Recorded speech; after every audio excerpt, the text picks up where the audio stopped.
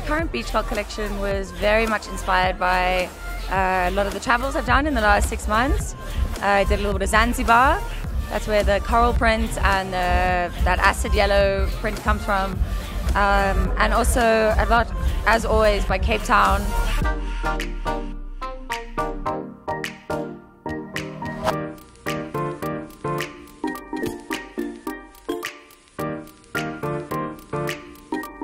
Well, all my fabrics are sustainably sourced fabrics from around the world that are printed and designed here locally. My prints are obviously an integral part of my collection. They're always inspired by African things and South African things and things that are important to me. Uh, the aloe print, designed by my sister, uh, we called it the aloe aloe, and it's reminiscent of the aloes at our holiday house where we grew up. The coral print, designed by my assistant Sarah, is about the fire coral in Zanzibar um, and those bright colors and everything.